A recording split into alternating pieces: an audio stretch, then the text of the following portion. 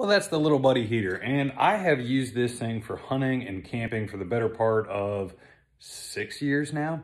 Used to take it my dad's old A-frame camper. But uh, I find myself more and more using it for like hunting and camping type purposes. And I wanted to fill you guys in. One, the thing's solid. Uh, it does have some tip over, like auto shut off safety features, which is great. I, tip of the day, have attached a piece of cord here to hold the base, which goes around your little green meanie uh, tank guys.